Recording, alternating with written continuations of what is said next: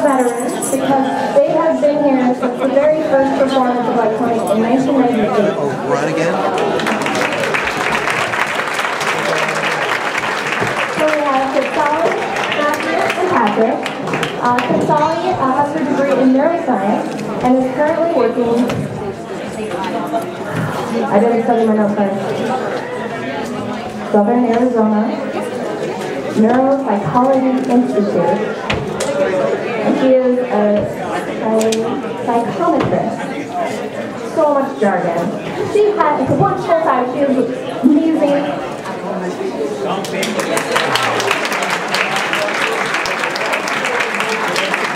And she put countless hours into the dance group, helping with mending and washing their costumes. Career in itself.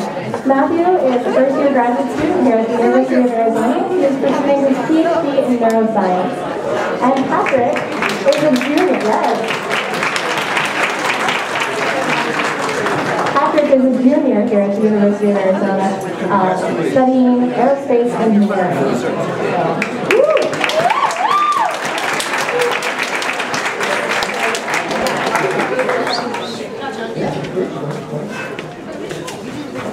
Hi everyone, I'm going to be introducing our next dance. Um, it is a collection of dances from the Central Poland region, and we actually put this together when Seattle invited us to come up and perform for uh, their big Polish festival up there.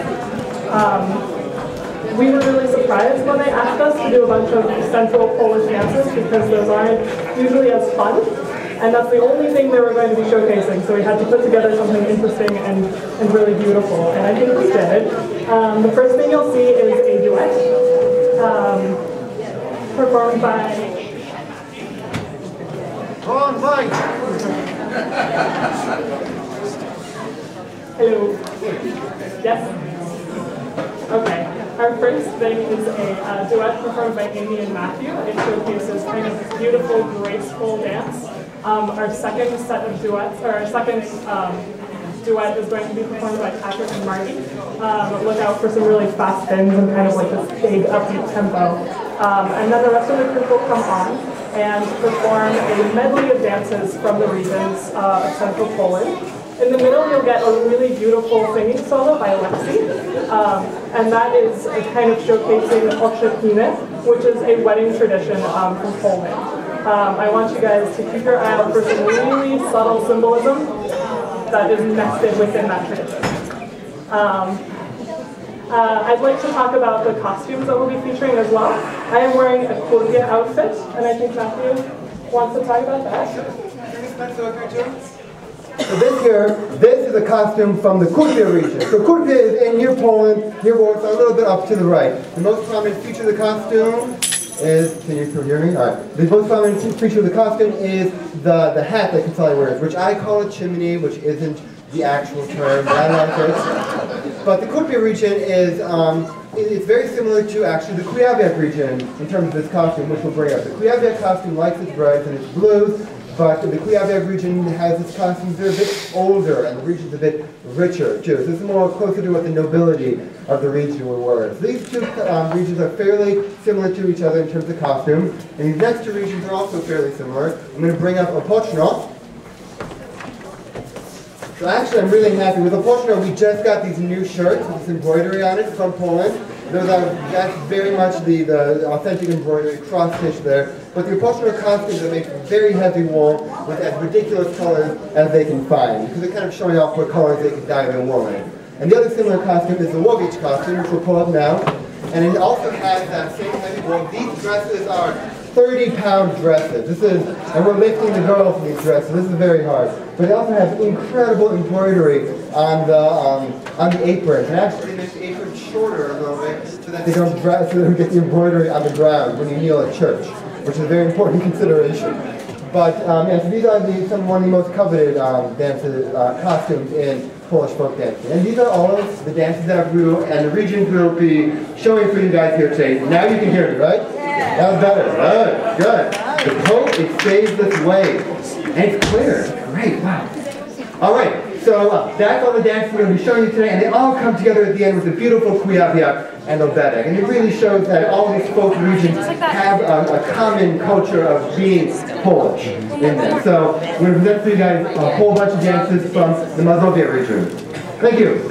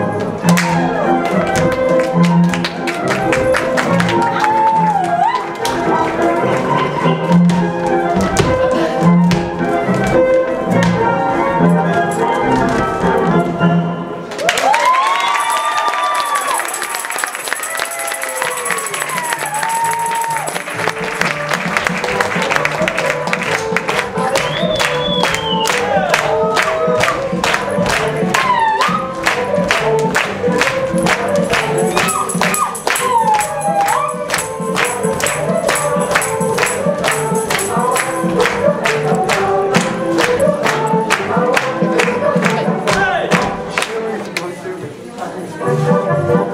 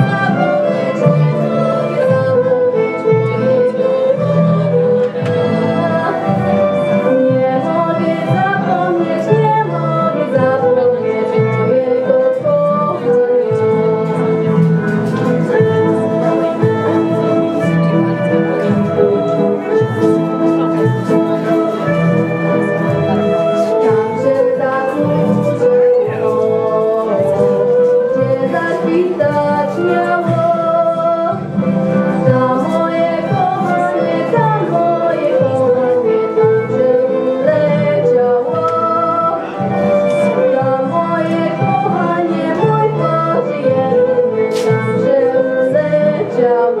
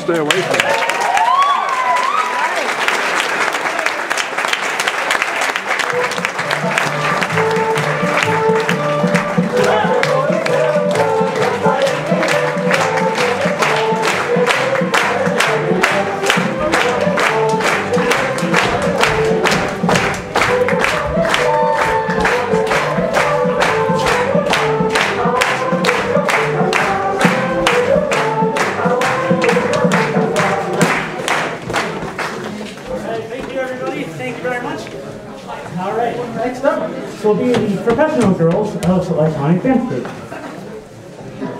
So first up, we have Amy Robertson. Please say hello to Amy.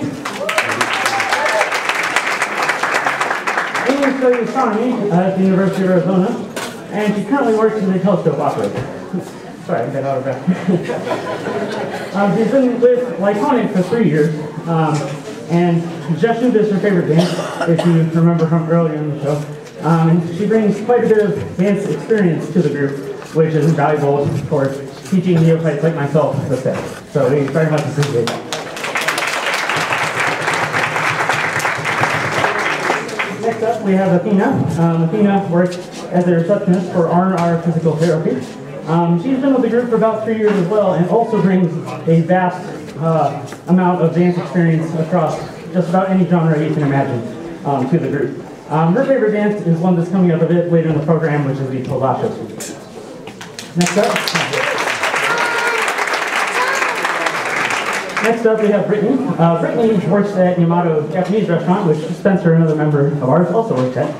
Um, and she's been with the group for only about six months, uh, but as you can see, she's uh, found a very good place here, and we've been happy to incorporate her skills as well into all the dances, uh, which she pulls off quite well. Um, her favorite dance is uh, coming up uh, very soon, called Polka Warszawska, and it's a whole bunch of fun, so I think you'll all enjoy it quite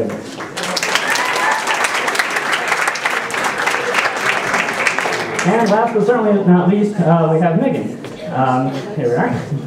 and so Megan works as a telescope operator, um, but she's actually going to be going to grad school uh, very soon with the goal of one day uh, being an educator at the college level in uh, physical sciences. So uh, that's a very. Um, she's been with the group for just shy of one year, um, so very soon in May actually we'll be her one year anniversary with the group. Uh, we'll be sad to be losing her uh, to Ohio State, but we know that they'll be gaining a very good astronomer. Um, and her favorite dance is also the Jessup Suite from before. So uh, let's have one more round of applause for the professional Amy Levick. Um, also, one more thing I want to add is that uh, after this next dance, we will be doing drawings for our raffle. So if you haven't had a chance to stop by the table uh, and you're interested in doing those, please feel free. Um, we'll be doing the drawing uh, after this next dance. So anyway, uh, coming up next will be both of our shop skill, which you'll hear about more in just a second.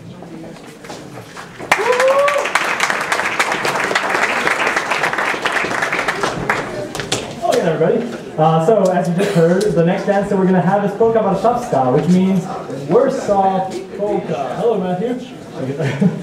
Um, so, we're going to take you to the middle of 1920s Warsaw. This is a really good period for Poland because right after World War One. Uh, Poland has just regained its independence. Everybody's super happy and wants to get drunk and dance all the time. This is essentially what this dance is about. Uh, the dance is about a group of people from the countryside, boys and girls, uh, who go to the city. It's their first time in the city, probably, and they try to fit in by trying to dance all of the cool urban dances, all the hip dances like uh, waltz and tango, but they mess it all up royally. So uh, this dance features a lot of improvisation, um, a lot of unexpected things. Let's hope nobody falls off stage. Uh, but it's always fun because uh, every single time we perform it, it's a little bit different. So uh, I hope you enjoyed it. All of us have a lot of fun in this dance, and I hope we'll spill that over to you. Thank you. Enjoy Polka Warszawska.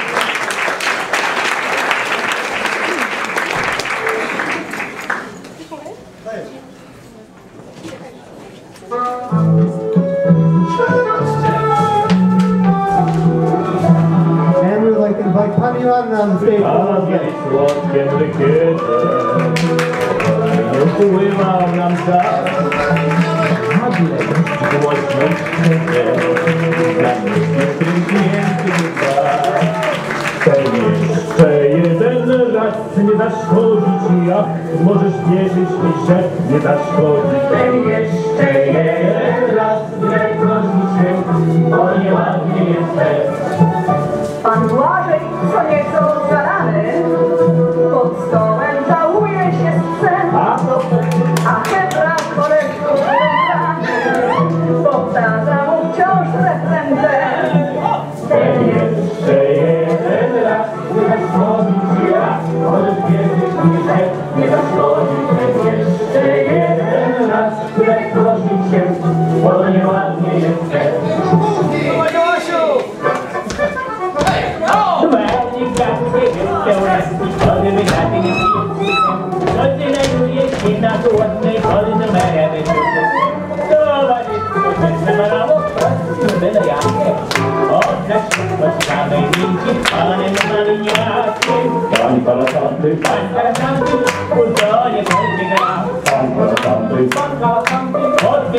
sprawę ma.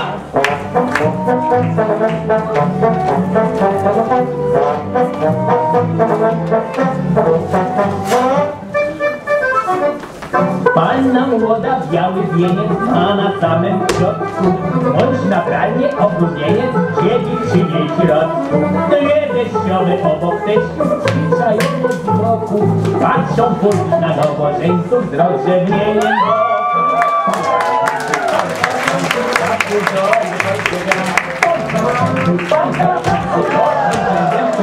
Thank you. mi tam kochana Twe oczy Te, które rodzą mi strzela I świt, gdy szukaj nas w nocy Gdy tajniak na ręce me kładł La la la la la la la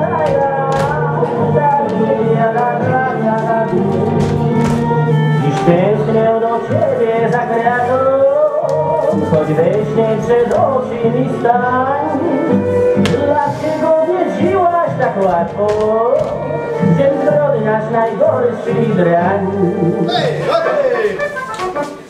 Wali ganskie, pełnaki, choćby takie nie Choć tyle jest na głodne, choć numerem wysocy Prowadzić, choć na mało, prosto nie byle Oddać wszystko samej linci z panem mariniakiem Pan kalasanty, pan kalasanty, uzdolnie 放个小鬼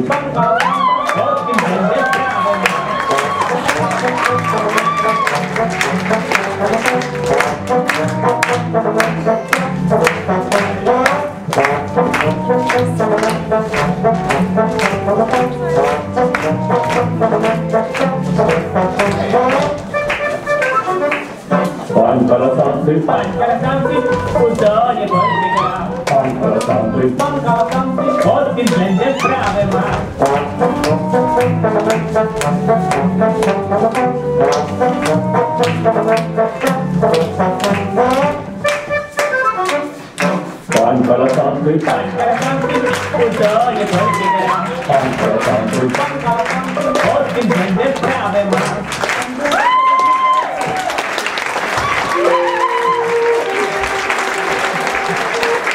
didn't know that this is going to happen. This is a April's Fool thing. I'm glad I got a good dancer.